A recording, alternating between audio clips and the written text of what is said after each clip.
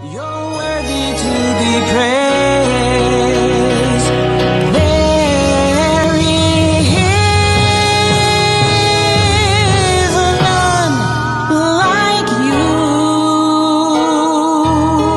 Oh Lord, oh Lord, it's true, it's really true, compassionate and everlasting praise.